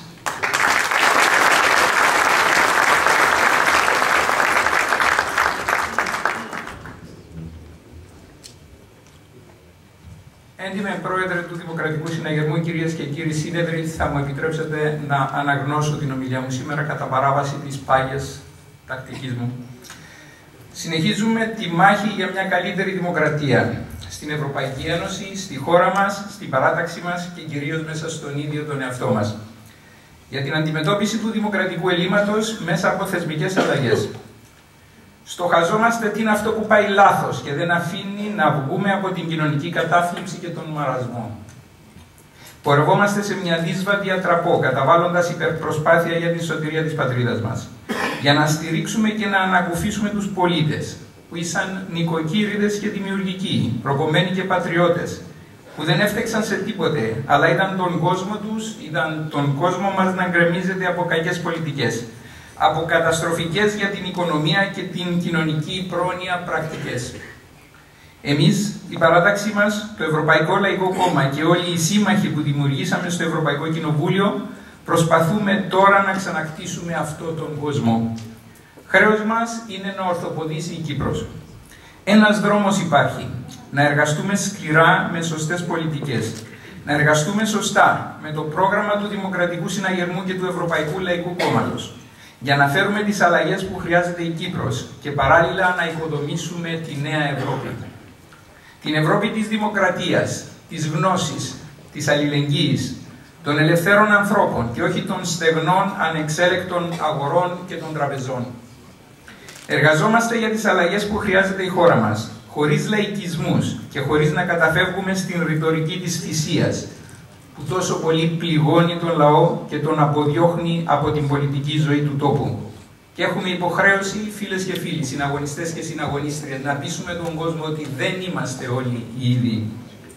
Στο Ευρωπαϊκό Κοινοβούλιο εργάστηκα σε πολλές επιτροπές, σε πολλές ομάδες. Δεν θα τις αναγνώσω αυτή τη στιγμή. Θέλω να εκφράσω τις ευχαριστίες μου στο Γιαννάκη Κασουλίδη και να σας πω πόσο τυχερή θεωρώ τον εαυτό μου που διδάχτηκα τόσα πολλά από αυτόν και από όσα οικοδόμησαν μέσα στο Ευρωπαϊκό Λαϊκό Κόμμα ο κύριος Παναγιώτης Δημητρίου και ο κύριος Γιαννάκης Μάτσης που ήσαν προκάτοχοί μας εκεί πέρα. Αλλά και πόσο τυχερή θεωρώ τον εαυτό μου που μπόρεσα να μεταφέρω όλη αυτή τη γνώση στο συνάδελφο μου και αργότερα τον Ανδρέα τον Πιτσιλίδη. Συναγωνιστές και συναγωνίστριες, δεν χάσαμε ούτε μία μάχη μέσα στο Ευρωπαϊκό Κοινοβούλιο. Αυτά τα πέντε χρόνια δεν χάσαμε ούτε μία μάχη. Κερδίσαμε τον σεβασμό των φίλων και των αντιπάλων, τόσο μέσα στο Ευρωπαϊκό Κοινοβούλιο όσο και μέσα στην ίδια την Τουρκία. Και δεν πέρασε καμιά, ούτε μια από τις συστάσεις, τα recommendations του φιλοτουρκικού λόμπι. Απέναντία, καταφέραμε να μεταστραφεί το κλίμα και να γνωρίσουν όλοι τι πραγματικά συμβαίνει στην Κύπρο και ειδικά στα κατεχόμενα. Φίλες και φίλοι, δεν είμαι ο αμάρτιας συν ούτε άλλος σπουδαίος οικονομολόγος, κύριε Πρίτανη, για να επιλύσω το οικονομικό πρόβλημα της Κύπρου, απότοκο της κακοδιοίκησης, των ιδεολογικών αγκυλώσεων και της διαφθοράς που μάστιζε την χώρα μας. Δεν το επιχείρησα καν αυτό το θέμα. Έλεγα την άποψή μου με δισταγμό και με ταπεινοφροσύνη γιατί δεν κατήχα το θέμα. Έκανα όμως ό,τι μπορούσα για να αμπλύνω τις επιπτώσεις του μνημονίου, της κρίσης, αυτής καθεαυτής, της ανεργίας και της φτώχειας, τόσο από την Κύπρο όσο και από τις Βρυξέλλες. Αναζήτησα και βρήκα ερίσματα στην Ευρώπη. Βρήκα στήριξη για την άπληση των επιπτώσεων της φτώχειας και για, και για σωστή πολιτική συμφωνία για το εθνικό μας ζήτημα. Για μια έντιμη και λειτουργική λύση βασισμένη στις αρχές και τις αξίες της Ευρωπαϊκής Ένωσης. Υπερασπίστηκα μαχητικά τα δίκαια μας και με τη δράση μας κερδίσαμε και το 85% των διαρθρωτικών ταμείων με τροπολογία που έπρεπε να περάσει οπωσδήποτε από το Ευρωπαϊκό Κοινοβούλιο γιατί υπόκειτο στην διαδικασία της συναπόφασης και για τα 100 και για τα άλλα 100 ε, εκατομμύρια για το 2014-2015. Με ισχυρές παρεμβάσεις στι εκθέσει της Ευρωπαϊκής Ένωσης που αφορούν τις επιπτώσεις από το μνημόνιο και εισηγούνται τρόπους δράσης και με υιοθέτηση δικών μας τροπολογιών για την ανεργία των νέων, για τις δυσχέρειες στην εκπαίδευση των μαθητών και για τις αρνητικές επιπτώσεις του μνημονίου. Φίλες και φίλοι, το Ευρωπαϊκό Κοινοβούλιο δεσμεύθηκε στη λήψη επιπλέον μέτρων για την ανακούφιση των φτωχών πολιτών της πατρίδας μας. Κερδίσαμε μια πολύ μεγάλη νίκη με την διακήρυξη για την αμόχωστο, φίλε Αλέξη. Με πολλές εκθέσεις, συνέδρια, εκδόσεις βιβλίων, συνεργασία με πανεπιστήμια της Τουρκίας, του Βελγίου, της Ελλάδας και πολλών άλλων χωρών, και αλωνίζοντα τον κόσμο με το Ευρωπαϊκό Κοινοβούλιο, καταφέραμε να κινητοποιήσουμε υγιείς και σταθερές δυνάμεις στο πλευρό της Κύπρου. Αποκτήσαμε εμπειρία και δυναμική που μας επιτρέπει να είμαστε εκπρόσωποι στην εμπροστοφυλακή της εθνικής προσπάθειας που καταβάλει η κυβέρνησή μας για να σωθεί ο τόπος. Γι' αυτό σας ζητώ να συνεχίσουμε μαζί την προσπάθεια.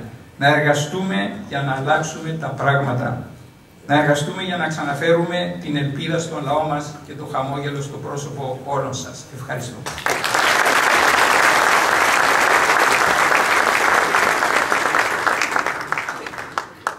Ο Χρήστος Τηλιανίδης γεννήθηκε στη Λευκοσία στις 26 Ιουνίου του 1958.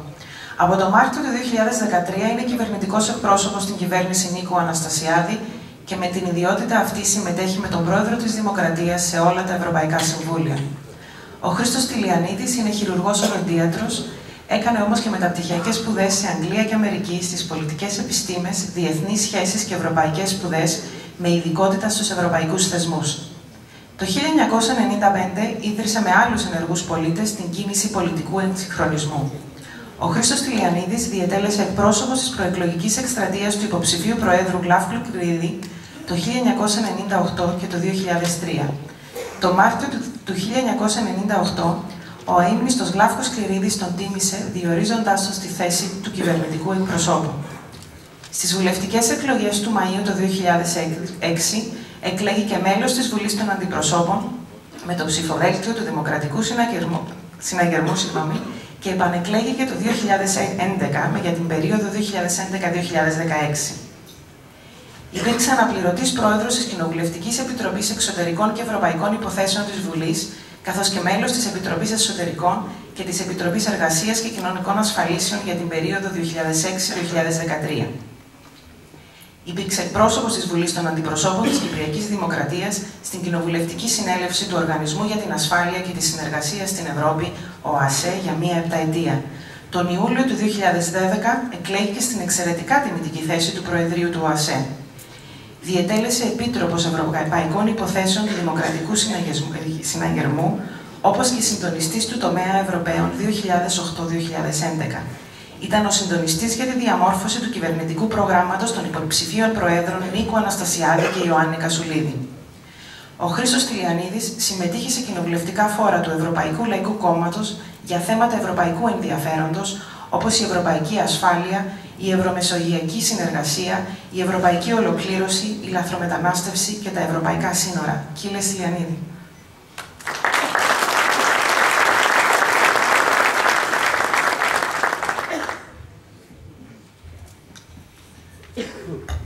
Φίλε Πρόεδρε, αγαπητοί συναγωνιστές, Επιτρέψτε μου μόνο μία κουβέντα λίγο επώδυνη, αλλά την έχω ανάγκη. Παρόλο που υπόθηκαν πολλά. Μπαίνουμε σε αυτή την μεγάλη εκλογική προσπάθεια για την Κύπρο στην Ευρώπη απόντος του κατεξοχήν ευρωπαϊστή μας. Του ανθρώπου που δεν πίστευε απλώς στο ευρωπαϊκό ιδεώδες, αλλά το συμπίκνωνε. Το μετάφραζε σε κάθε πολιτική του θέση και παρουσία. Ο Τάσος, αν και έφυγε νωρίς, μας συντροφεύει συνεχώς με το σπάνιο παράδειγμά του, το ήθος του, τη μετριοπάθειά του σε κάθε μικρή και μεγάλη απόφαση. Φίλες και φίλοι, οι επόμενες ευρωεκλογές και με η δική μου ομιλία θα είναι λίγο πιο πολιτική, λίγο πιο σκληρή. Αλλά δυστυχώς τα πράγματα στην πατρίδα μας είναι σε οριακό σημείο. Δεν είναι απλώς μια άλλη μάχη για μια καλύτερη Ευρώπη. Και σας το λέει ένας ευρωλιγούρης, όπως το χαρακτηρίζουν πολιτικοί του αντίπαλοι. Δεν είναι απλώς μια μάχη για μια πιο αποτελεσματική παρουσία της Κύπρου στην Ευρώπη. Ούτε μια μάχη απλώς για μια πιο σημαντική αξιοποίηση των ευρωπαϊκών προγραμμάτων. Ούτε βέβαια τα γνωστά. Αυτά τα είπαμε και το 2009, στις προηγούμενες ευρωεκλογές. Και όντως όλα αυτά τώρα ισχύουν στο πολλαπλάσιο. Και κανείς δεν αφιβάλλει γι' αυτό.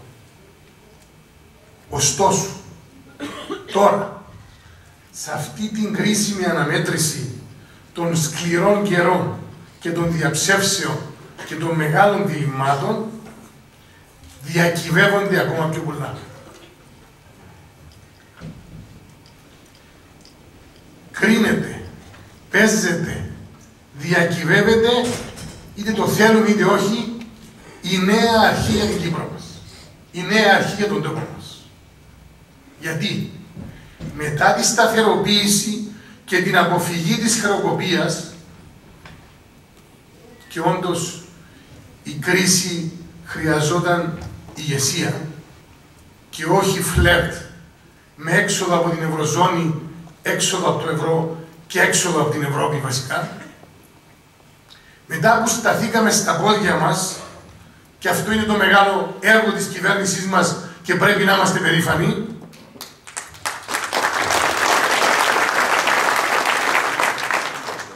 είναι η ώρα να περπατήσουμε κιόλας. Και το περπάτημα τι σημαίνει; Μια νέα αρχή για ανάπτυξη, για νέες θέσεις εργασίας, για τη νέα γενιά και για την προοπτική λύση του Κυπριακού. Και όλα αυτά τι χρειάζονται; Στη σκληρή πολιτική επιβεβαίωση λαϊκής ετοιμιγορίας. Έτσι είναι, φίλοι, έτσι είναι φίλες και φίλοι μου τα πράγματα στα σκληρά πεδία της πολιτικής και της λαϊκής κυριαρχίας. Γι' αυτό και προσωπικά δεν μπορούσα να είμαι απόν από αυτή τη μάχη της επιβεβαίωσης για την νέα αρχή. Όφιλα να ήμουν παρόν. Γιατί αλλιώς θα ήταν αποφυγή ευθύνης. Και θα ήταν όντως έλλειψη εμπιστοσύνης ως προς το τι επιτεύχθηκε τον τελευταίο κρίσιμο καιρό.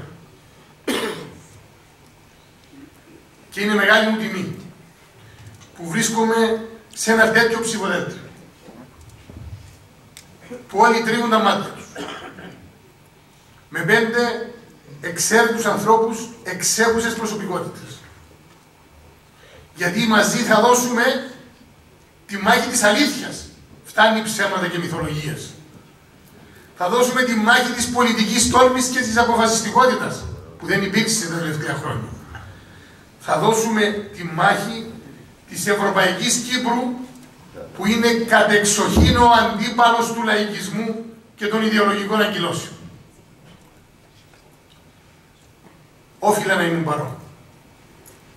Γιατί οι εξελίξεις και η διαπραγμάτευση στο Κυπριακό θα γίνεται εξίσου σοβαρά και στις Βρυξέλλες. Και οφείλουμε όλοι μας στο διάστημα που έπεται, κρατώντας την κληριδική πηξίδα στο χέρι και στο μυαλό, να δώσουμε τη μάχη για το εθνικό θέμα στις Βρυξέλλες, που είναι όντως προνομιακός μας χώρος. Ως κυβέρνηση και ως παράταξη έχουμε την ευθύνη να σώσουμε τον τόπο και θα το σώσουμε. Ευχαριστώ πολύ.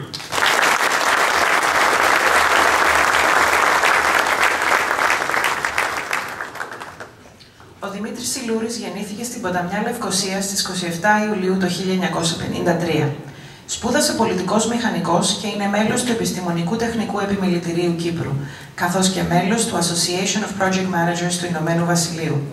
Διετέλεσε γραμματέας της Επιτροπής Διαφώτισης της ΔΕΔΙΣΗ και πρώτος πρόεδρος της Φοιτητικής Παράταξης Πρωτοπορίας, Γενικός Γραμματέας του Δημοκρατικού Συναγερμού, Επαρχιακός Οργανωτικός Γραμματέας του Δύση Λευκοσίας και Παρατηρητής Ευρωβουλευτής στο Ευρωπαϊκό Κοινοβούλιο το 2003 στην πολιτική ομάδα του Ευρωπαϊκού Λαϊκού Κόμματος. Εξελέγηκε βουλευτής το 1991, αξίωμα το οποίο κατέχει μέχρι σήμερα. Από τον Ιούνιο του 2001 μέχρι τον Μάιο του 2004 διετέλεσε κοινοβουλευτικός εκπρόσωπος του Δημοκρατικού Συναγερμού και πρόεδρος της Κοινοβουλευτικής Επιτροπής Εμπορίου και Βιομηχανίας. Ο Δημήτρης Σιλούρης είναι πρόεδρος του Ευρωπαϊκού Κόμματος. Είναι πρόεδρος της Κοινοβουλευτικής Επιτροπής Θεσμών Αξιών και Επιτρόπου Διοικήσεως και μέλος της Κοινοβουλευτικής Επιτροπής Εξωτερικών και Ευρωπαϊκών Υποθέσεων και της Κοινοβουλευτικής Επιτροπής Εσωτερικών. Κύριε Σιλούρη.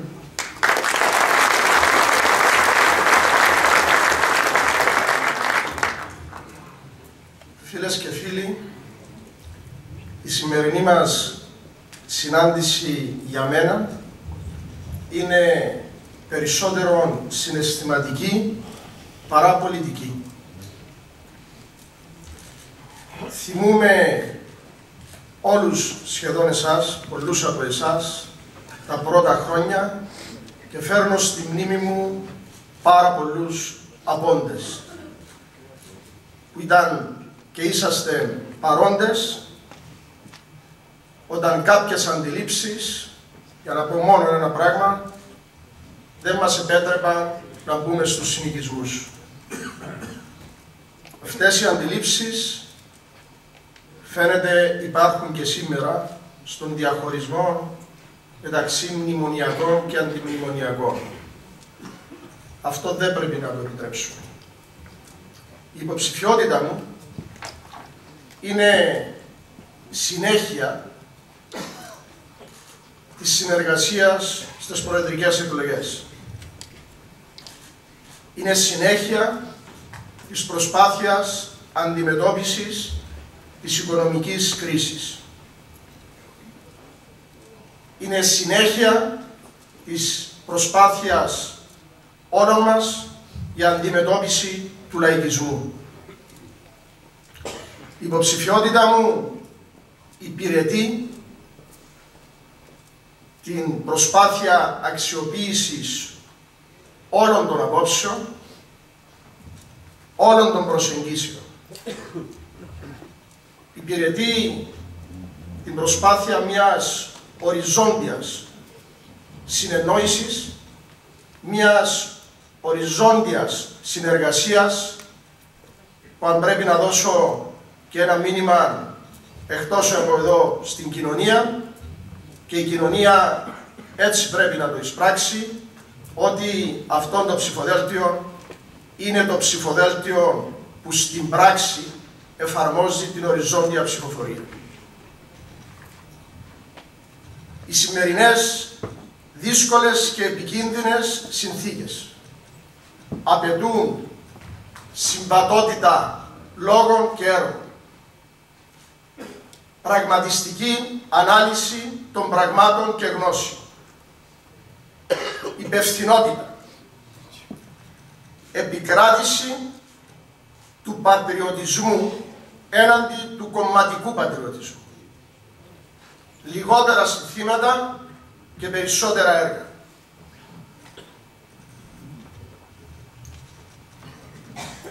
Το συμφέρον της Κύπρου πρέπει να είναι το μέτρο της δικής μας ευθύνης. Με υπευθυνότητα εδώ δίδω την υπόσχεση ότι υπεύθυνα και αποτελεσματικά θα συμπεριφερθώ και στην Ευρώπη. Ευχαριστώ πάρα πολύ.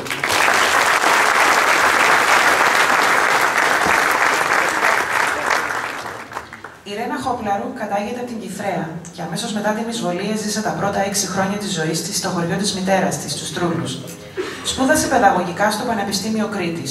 Μεταπτυχιακέ σπουδές έχει κάνει στον τομέα των πολιτισμικών σπουδών και μέσων μαζικής ενημέρωσης στο Institute of Education του Λονδίνου. Έχει επίσης μεταπτυχιακό δίπλωμα στον τομέα του θεάτρου στην εκπαίδευση από το Central School of Speech and Drama. Η επαγγελματική της εμπειρία παρουσιάζει πολιτυπία. Κατά τη διάρκεια της πολύχρονης παραμονής της στο εξωτερικό, εργάστηκε σε εφημερίδες σε μεγάλους πολιτιστικούς οργανισμούς όπως το National Film Theatre του Λονδίνου και σε σχολικά αλλά και ερευνητικά πανεπιστημιακά προγράμματα στην Αγγλία, τις Ηνωμένες Πολιτείες και την Ελλάδα. Η Ρένα Χόπλαρου έχει έντονη δράση σε μη κερδοσκοπικούς οργανισμούς. Υπήρξε μέλος του Διοικητικού Συμβουλίου του Ομίλου Προβληματισμού για τον Εξυγχρονισμό της Κοινωνίας και του Ομίλου Ιστορικού Διαλόγου και Έρευνας μεταξύ 2006 και 2013 είναι ιδρυτικό μέλος της πρωτοβουλίας Μένουμε Ευρώπη. Η Ρένα Χόμπλερου εργάζεται ως μάχημη εκπαιδευτικός στο Σχολείο Ζώνης Εκπαιδευτικής Προτεραιότητας Φανερωμένης. Κυρία Χόμπλερου.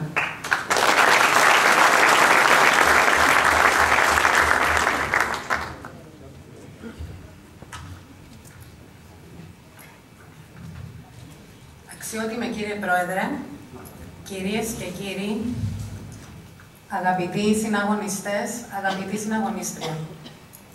Είμαι ιδιαίτερα χαρούμενη που σήμερα έχω την ευκαιρία να συνομιλήσω μαζί σας. Πριν σας πω δύο λόγια, θα ήθελα εκ μέρους της πρωτοβουλίας Μένουμε Ευρώπη, αλλά και προσωπικά μιλώντας, να ευχαριστήσω δημόσια τον Πρόεδρο και την ηγεσία του Δημοκρατικού Συναγερμού για τη μεγάλη τιμή να με προτείνει να συμμετέχω στο Ευρωπαϊκό Ψηφοδέλτιο του κόμματος. Κατανοώ ότι ήταν μια δύσκολη απόφαση, καθώς η πρωτοβουλία και εγώ εκκινούμε από μια καθαρά πολιτική αφετηρία. Δεν είμαι εδώ, δεν είμαι εδώ ούτε ως αθλήτρια, αν και ήμουν αθλήτρια, ούτε ως τεχνοκράτης, αν και οι σπουδές μου με επιτρέπουν να συγκαταλέγομαι σε αυτούς, ούτε ως celebrity του εχώριου lifestyle. Είμαι εδώ γιατί εκπροσωπώ σαφείς πολιτικές θέσεις, όχι υποχρεωτικά ταυτισμένες με το κόμμα του Δημοκρατικού Συναγερμού. Πολλούς από εσάς σας ξέρω προσωπικά. Με κάποιους έχουν διασταυρωθεί ξανά οι δρόμοι μας, άλλοτε κοινωνικά και άλλοτε πολιτικά, σε διάφορες φάσεις της πολυτάραχης πορείας του τόπου μας. Με πολλούς από εσάς όμως, έστω από διαφορετικά βήματα, έχουμε δώσει κοινές πολιτικές μάχες.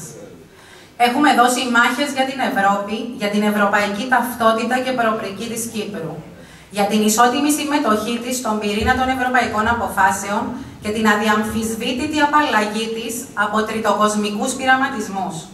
Έχουμε δώσει μάχες για την ανοιχτή οικονομία κόντρα στις πολιτικές του συγκεντρωτισμού και της χρεοκοπίας. Έχουμε δώσει μάχες για τον κοινοβουλευτισμό και την κατεδάφιση των μύθων. Είτε αυτοί οι μύθοι είναι αντικαπιταλιστικές, αντιδυτικές αιμονές, είτε είναι μια βέβηλη, ανόητη και συνωμοσιολογική εθνοκαπηλεία. Καπηλεία που πρώτα απ' όλα κάνει κακό στην πατρίδα μας, κουκουλώνοντας τα προβλήματα και παραπλανώντας μας από τις λύσεις. Πάνω απ' όλα είναι το μέλλον του τόπου μας. Και σήμερα για τις εκατοντάδες χιλιάδες συμπολίτες μας, η ασφάλεια, η ανάπτυξη, η προοπτική περνούν από τη λύση του εθνικού μας προβλήματος. Προσωπικά δεν θέλω τα παιδιά μου να βλέπουν στην Κύπρο τουρκικά σύνορα. Θέλω να μπορούν ελεύθερα να κυκλοφορούν σε όλο το νησί τους. Με τον ίδιο τρόπο που θα κυκλοφορούν σε κάθε γωνιά της Ευρώπης. Και η Αμόχωστος και η Κερίνια και η Καρπασία είναι Ευρώπη. Δεν βλέπω κανένα λόγο γιατί να τις χαρίσουμε στην Τουρκία. Αυτή είναι η πραγματικά πατριωτική πολιτική. Οφείλω να είμαι συνεπής στον εαυτό μου και στις ιδέες μου, γι' αυτό θα μου επιτρέψετε να σας πω τα εξής. Έχετε εξάλλου οργώσει τις επαρχίες σας αμέτρητες φορές Έχετε καταγράψει χιλιάδες χιλιόμετρα στα χωριά και τις πόλεις. Έχετε σφίξει αναρρύθμιτα χέρια. Άρα αντιλαμβάνεστε πολύ καλά τι σας λέω. Υπάρχουν πολλοί, χιλιάδες συμπολίτες μας, που είναι όχι μόνο δυσαρεστημένοι, όχι μόνο απελπισμένοι, αλλά εξοργισμένοι. Πολίτες που θεωρούν ότι η πολιτική τάξη φροντίζει, φροντίζει αποκλειστικά για τα δικά της προνόμια και για τα συμφέροντα των φίλων και συγγενών. Ότι υπάρχουν πολίτες δύο κατηγοριών, αυτοί που έχουν μέσο και οι υπόλοιποι. Ότι κανείς ισχυρός δεν τιμωρείται. Φαντάζομαι ότι μπορείτε να αντιληφθείτε τις συνέπειες της εμπέδωσης μιας πεποίθησης ότι η ψήφος δεν έχει κανένα νόημα γιατί τίποτα ουσιαστικό δεν αλλάζει καλλιεργεί μια νέα γενιά που αντί να παλεύει δυναμικά και αισιόδοξα για το μέλλον της, φεύγει στο εξωτερικό, είτε βλέπει παντού εχθρούς και φράχτες και γι' αυτό αντιδρά τυφλά και λανθασμένα, προσχωρώντας την παγίδα είτε του μαύρου είτε του κόκκινου φασισμού. Είτε πέφτει σε μία μαλθακή απολυτική στάση. Αλλάζουμε ό,τι δεν αξίζει στην πράξη και πρέπει να είμαστε αποτελεσματικοί με μεταρρυθμιστική ατζέντα και με το παράδειγμά μας. Ξεκινάει από μας. Δεν είναι αλήθεια ότι δεν μπορεί να αλλάξει τίποτα. Τίποτα όμως δεν είναι αυτονόητο και κεκτημένο. Δίχως υγιή και εξωστρεφή οικονομία. Αυτή την αίσθηση του κατεπήγοντος που συντονίζεται με την αντίστοιχη στην ατομική ζωή της πλειονότητας των πολιτών, θέλω να σας τη μεταφέρω έντονα. Και σε αυτή μου την προσπάθεια ομογνωμώ με το πρόσφατο μανιφέστο του Ευρωπαϊκού Λαϊκού Κόμματος, στο οποίο η έγνοια για την κρισιμότητα της κατάστασης είναι δραματικά εμφανής. Κυρίες και κύριοι, φίλοι και φίλες, σκοπός της υποψηφιότητάς μου είναι να συμβάλλω στο μέτρο των δυνατοτήτων μου για μια ενωμένη, δυναμική, ανταγωνιστική, ανοιχτή, κοσμοπολίτησα Κύπρο, σε μια ενωμένη, ανοιχτή, δυναμική, ανταγωνιστική Ευρώπη. Και σας ευχαριστώ θερμά που μου δίνετε την ευκαιρία να περάσω αυτό το μήνυμα στους συμπολίτες μου το επόμενο διάστημα. Μόνη μας επιλογή, μόνη μας επιλογή είναι να τα καταφέρουμε. Ευχαριστώ πολύ.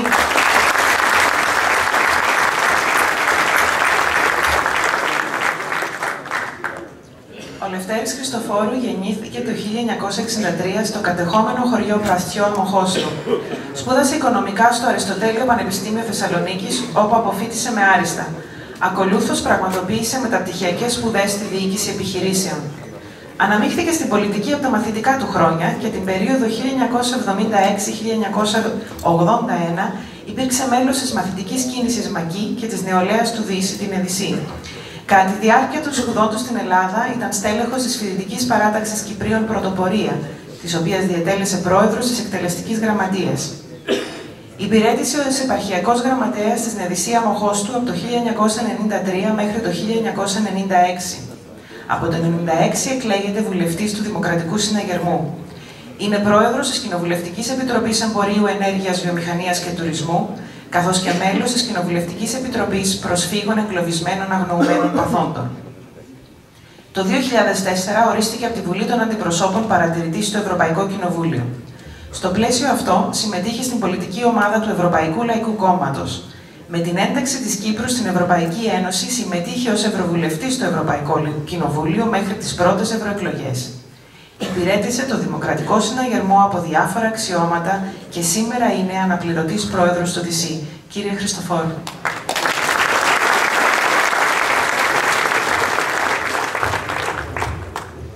Αγαπητέ φίλε Πρόεδρε, ευρισκόμενος σήμερα ανάμεσα στις συναγωνιστές και συναγωνίστριες και προσερχόμενος σε τούτο το βήμα του Ανωτάτου Συμβουλίου αντικρίζοντας όλους εσάς που είστε η ζωντανή ιστορία του Δημοκρατικού Συναγερμού, όλους εσάς τους μακροχρόνια ανιδιοτελείς εθελοντές αιμοδότες της δικιάς μας παράταξης, εσάς που όλα αυτά τα χρόνια κρατήσατε στις πλάτες σας όρθιον τον Δημοκρατικό Συναγερμό, για να μπορούμε εμείς σήμερα να διεκδικούμε θέσεις και αξιώματα μπροστά σε όλους εσάς, έχω να πω μόνο ένα.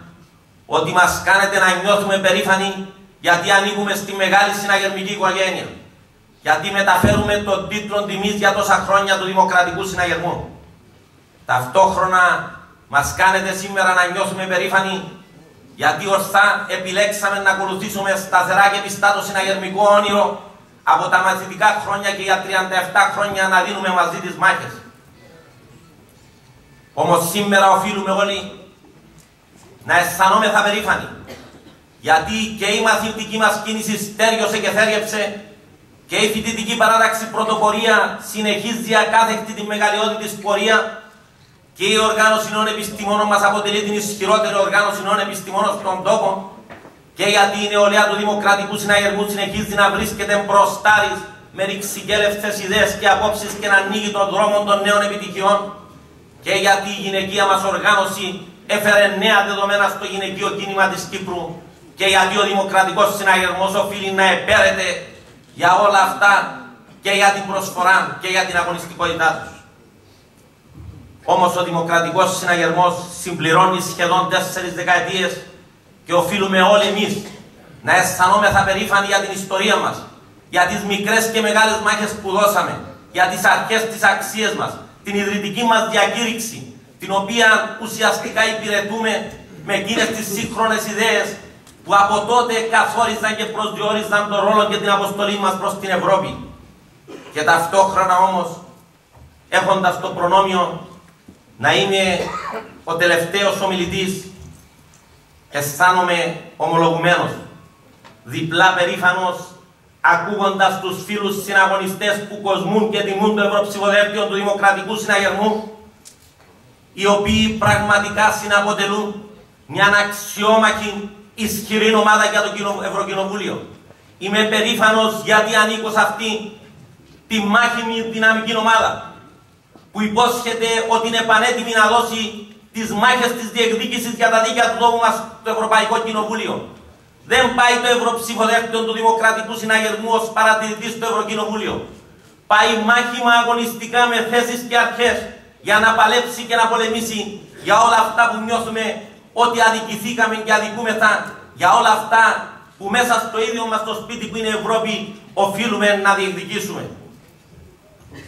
Ταυτόχρονα οφείλω να πω ότι αυτή η παράταξη και όλοι εμείς οφείλουμε να αισθανόμεθα περήφανοι για την κυβέρνηση του Νίκο Αναστασιάδη, τη δικιά μας κυβέρνηση, η οποία έδωσε τη μάχη και έδωσε τον τόπο από την θεοκοπία, η οποία αγωνίζεται να σκουμπομένησαμε σήμερα νυχθημερών με τους υπουργούς της, για να μπορέσει να βγάλει τον τόπο από τα διέξοδα.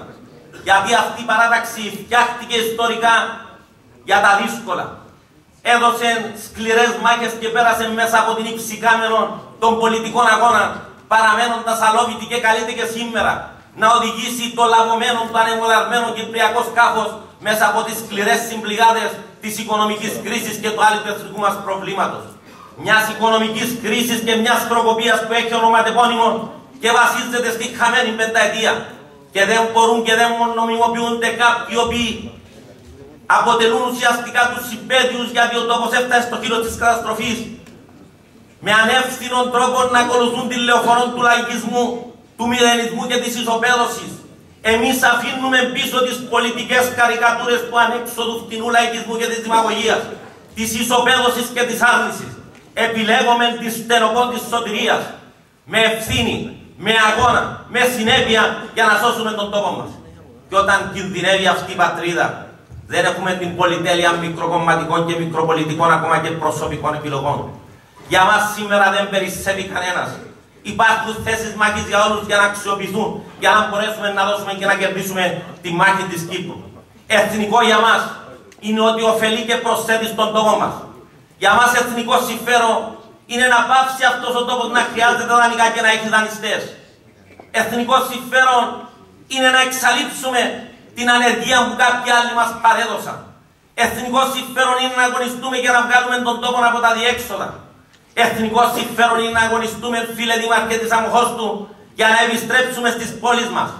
Εθνικό συμφέρον είναι με υπευθυνότητα και μακράν από ανέξοδες και φτηνές πολιτικές διαδικασίες να δώσουμε τον αγώνα για την πατρίδα μας. Είναι γι' αυτό που σήμερα, βλέποντας όλους εσάς, και έχοντας και διαθέτοντας τόρμη, αγωνιστικότητα και αποφασιστικότητα αυτή η παράταξη, αλλά πρωτίστως πολιτική βούληση και στηριζόμενη και βασιζόμενη σε όλα εσάς τα ικανά και αξιόμαχα στελέχη, είμαι βέβαιος ότι θα δώσουμε και αυτήν τη μάχη με τον ίδιο τρόπο που εσείς ξέρετε και θα την κερδίσουμε. Αυτό μας προστάζει η ιστορία του Δημοκρατικού Συναγερμού. Κερδίζοντας αυτήν τη μάχη, κερδίζουμε τη μάχη του τόπου μας. Δίνουμε το μήνυμα ότι η πολιτική της ευθύνης, η πολιτική της προσφοράς, η πολιτική της σωτηρίας του τόπου μας είναι εδώ και συνεχίζει τον αγώνα και την προσπάθειά της. Και είμαι βέβαιος και είναι στο χέρι μας να κερδίσουμε αυτή τη μάχη. Γιατί το αξίζει η παράταξή μας, το αξίζει ο τόπος μας, το αξίζετε όλοι εσείς, οι αφανείς, οι ανιδιοτελείς, οι άνθρωποι της προσφοράς του κόκκου και του μόχτου για τον δημοκρατικό συναγερμό. Σας ευχαριστώ.